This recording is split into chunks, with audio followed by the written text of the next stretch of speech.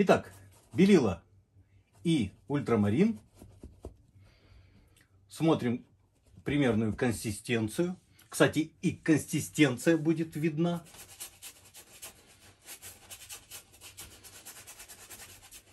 Наличие коричневого в подкладке вы видите, ну коричневатого, вы видите, где-то он вымигивает. И таким образом это уже не вырви глаз синий, а с, с некой сгармонизированностью с остальными цветиками в картине. То есть помигивание, помигивание в подкладке этого э, коричневого и в других же местах тоже много коричневого, поэтому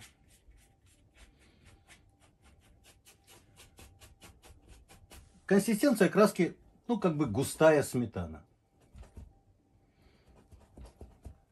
Найдем тональность, не совсем светлая, не совсем темная.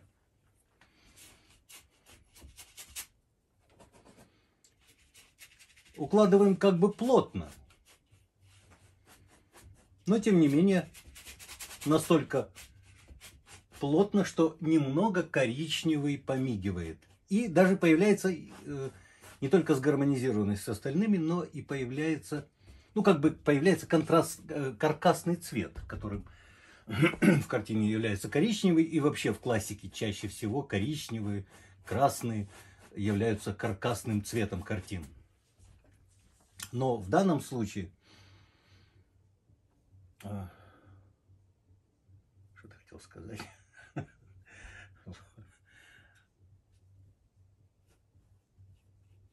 Не помню. Ладно. Так, ну и некая, некая конфигурация. От, от середины здесь проем.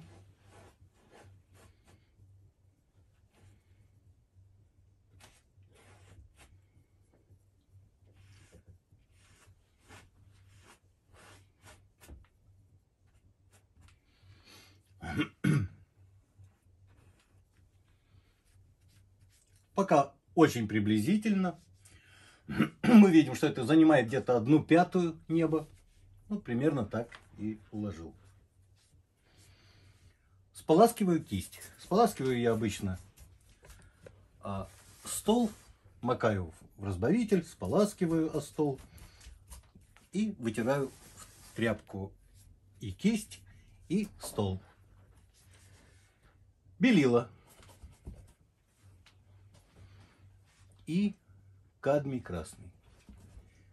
Снег в основном у нас в картине на, на свету. То есть совсем мало снега в тени. Свет оранжевит, поэтому разбел красного даст этот эффект некоторой оранжевости.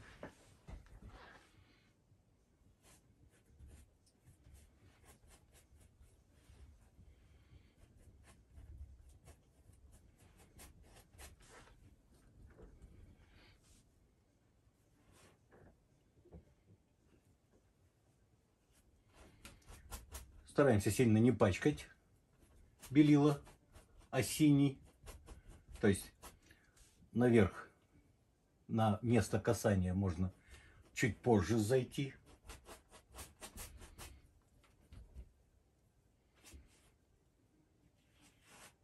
Видите, я стараюсь не коснуться синего.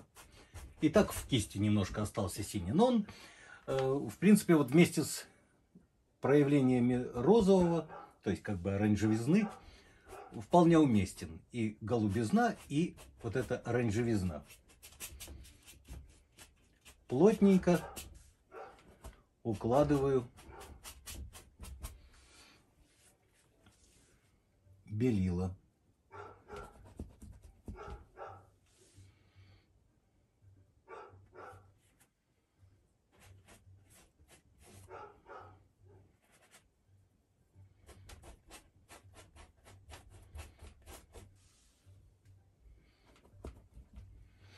Только чуть-чуть разжижаю.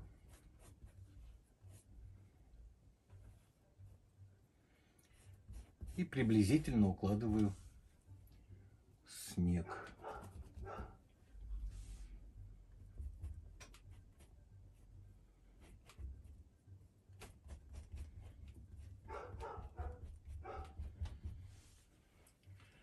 Немножко пластилиновый характер укладки Смотрим, что попадает на середину. На пересечение диагоналей прямо внятно попадает вот эта снеговая линия. А здесь уже начались э, скалы. Ну, открытая местность на скалах.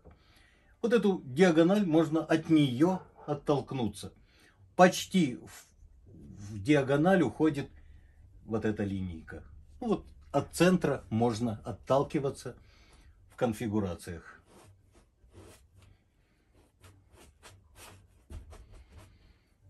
Поскольку середину найти очень просто, от нее и оттолкнемся.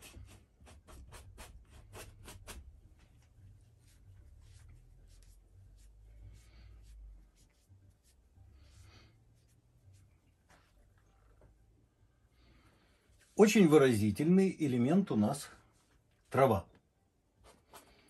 Она прямо отделяет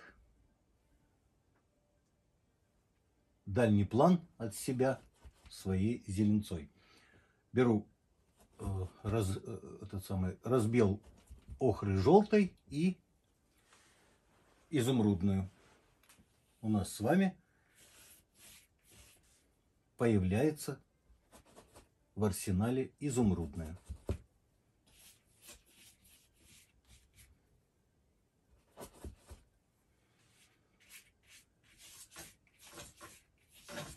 Поскольку этот зеленый здесь лежит неминуемо,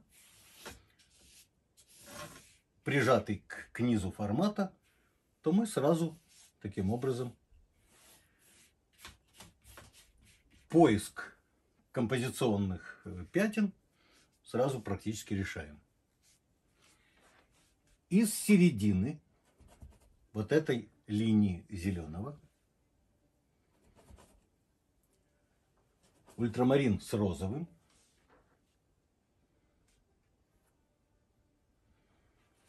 выходит теневая скалы.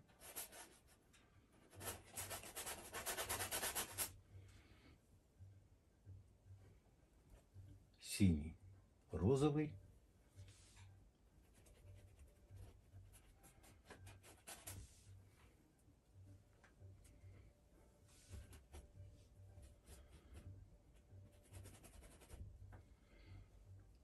чуть выше середины бугор загибается.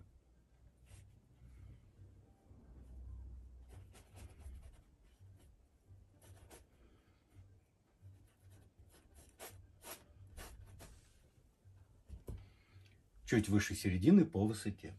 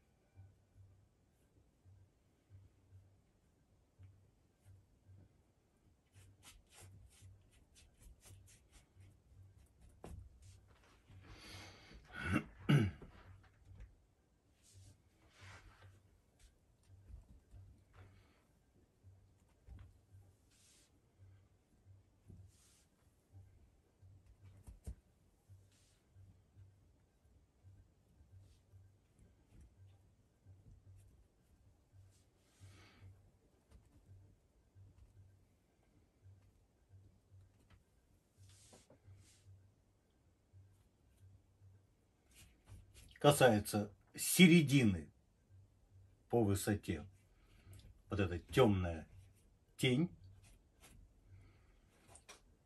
и устремляется к этому мысику.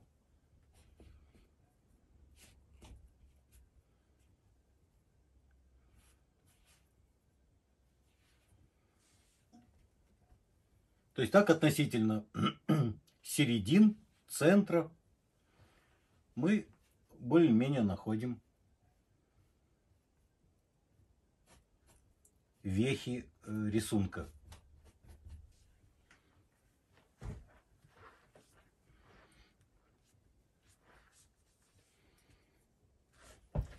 Так, ультрамарин.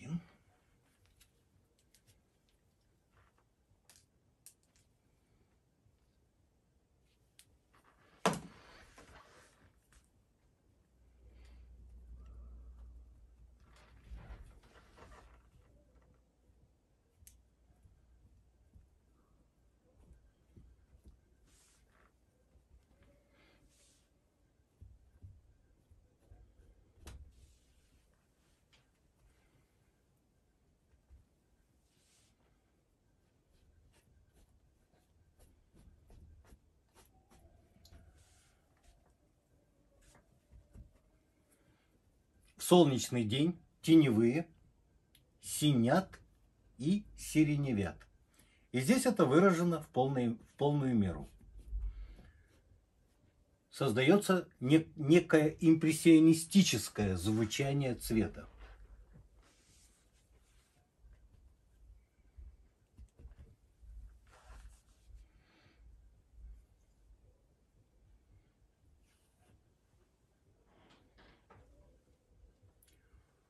В район вот этой развилки стремится линия теневая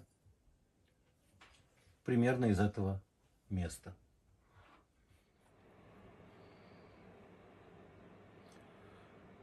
Кладу уже не по его рисунку, а по моему, потому что есть целый ряд непопаданий, э, безопасных для картины. Ну, вы понимали, почему я поступаю так, а не иначе, я объясняюсь.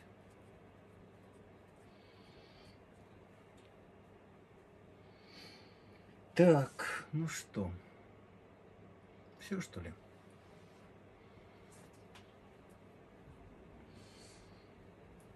Ну вот, может быть, еще вот здесь сделаю кусочек света на снегу. Чтобы эта скала резко вышла оттуда.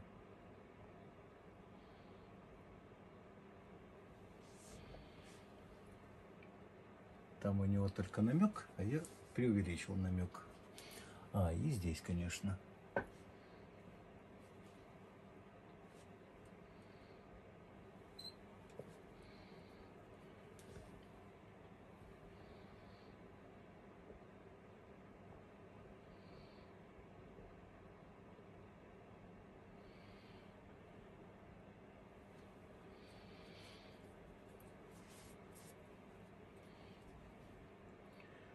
Так. Ну, в целом, в целом так. Вот. Я надеюсь, что вот эта вот лепка формы, граненность, особенно, мне кажется, особенно было интересно вот в этой части картины. Вот. Как они, эти фактуры, появлялись от наложения сверху. Как мастихин уложил, а потом борозды. Вот это все желательно, чтобы вы э, прочитали в этой картине и приспособились к этой лепке всего, потому что лепить практически все надо. Даже массы деревьев, которых здесь нет, вот, они тоже требуют лепкости. И вот мы с вами пожили в атмосфере лепкости.